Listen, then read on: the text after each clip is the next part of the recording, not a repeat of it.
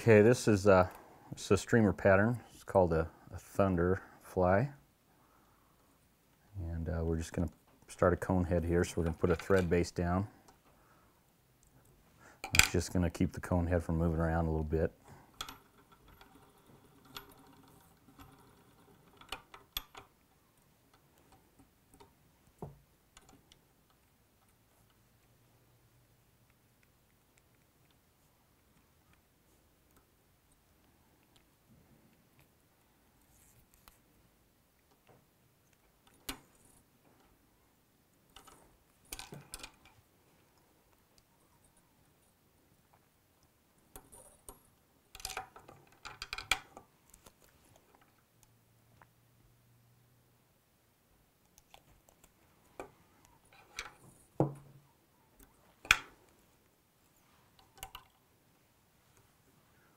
Pull that right up to the hook eye.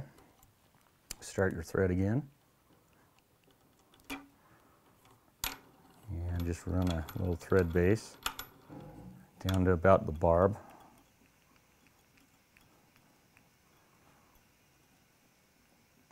And uh, then we'll just bring that back up to the front.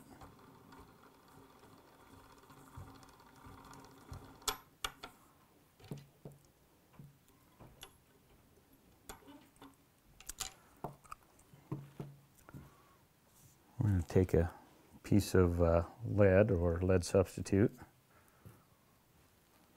here.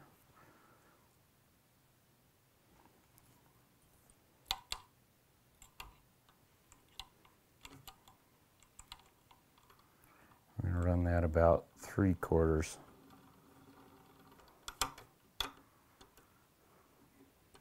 Just pinch that off.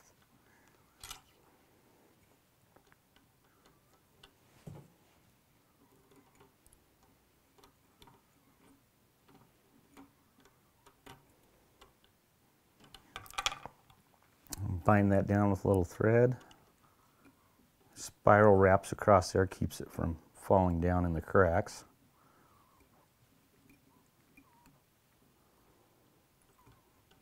So we'll just get that bound down.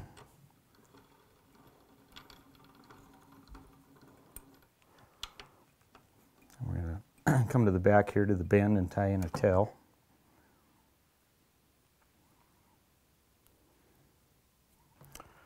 Okay, so we're going to tie in a marabou tail about uh, mm, hook shank length.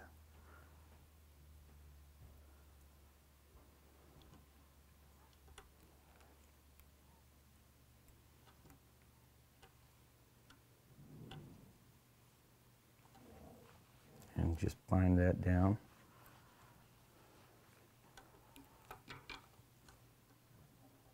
Right to where the lead ends. the reason we're doing that is uh, we're going to put another tail on top of it and we want to keep this body pretty even.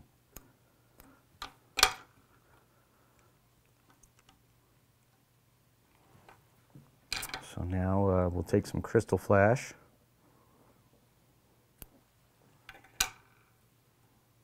Tie that in on top.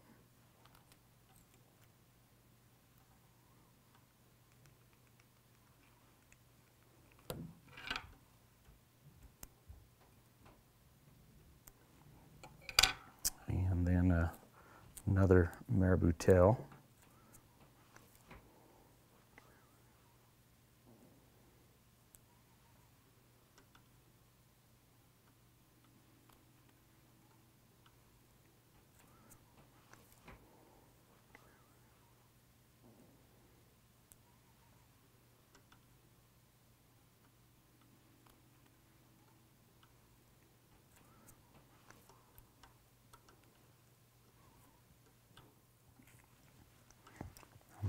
this time we're just going to bind this all the way down the, the lead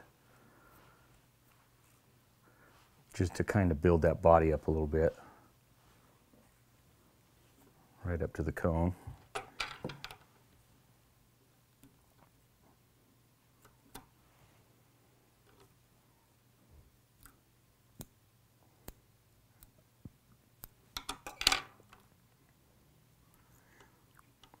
Line that down.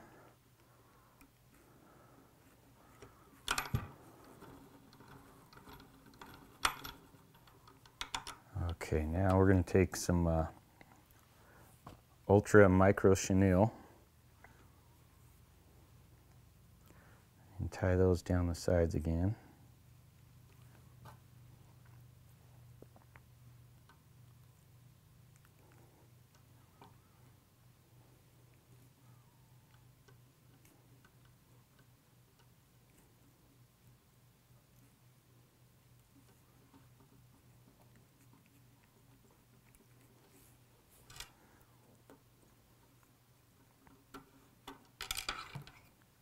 Clip your thread. And we'll, uh, we're going to do an overhand knot weave on this as well. This time we're going to alternate it well, every couple of bands.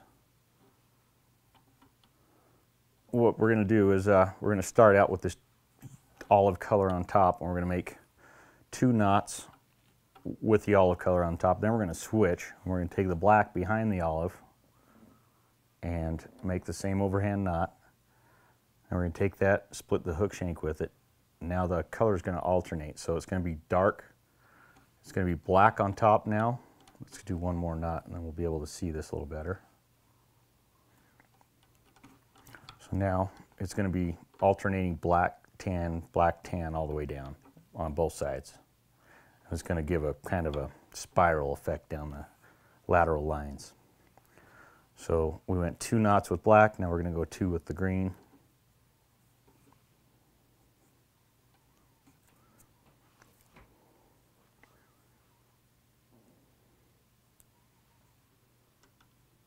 The way you do get an alternating pattern is whatever color you, you take behind and make your knot with is what's going to be left on top of the hook shank.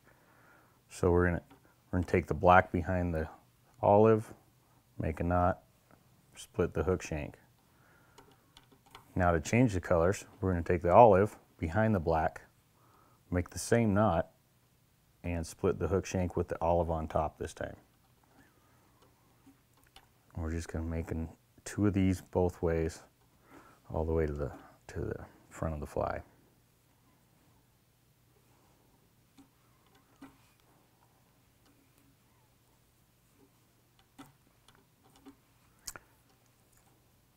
Back to the olive.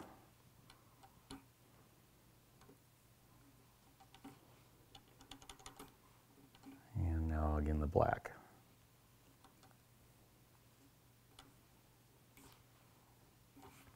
Okay, we're going to stop right there and reattach our thread.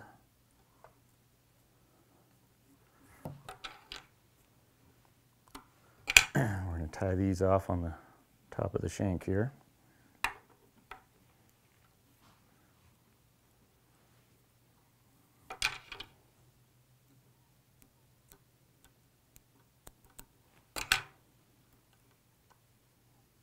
Fine nails down a little bit.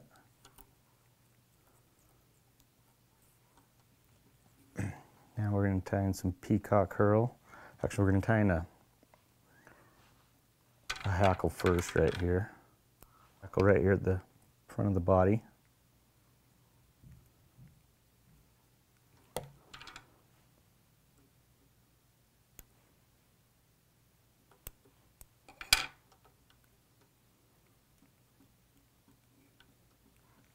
Take some peacock herl, about five or six strands.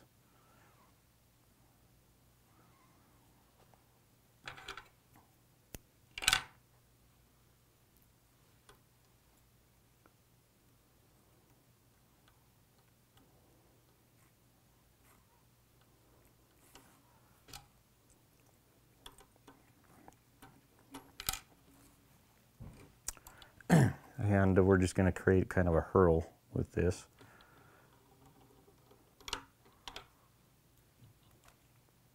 a little chenille almost, and uh, wrap this body. We're going to tie this off right here at the cone.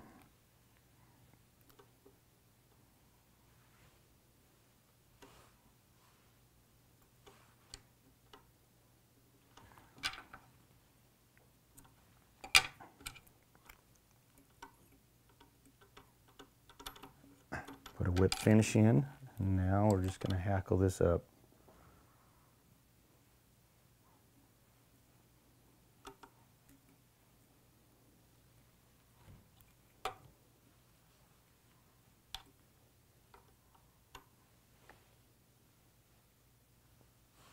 And you could use a uh, you could use a woolly bugger hackle if you wanted. If you wanted some more legs, some longer longer look to it.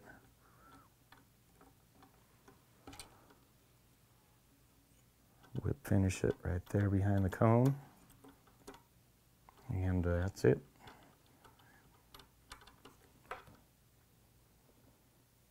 Alternating colors, woven body, thunder.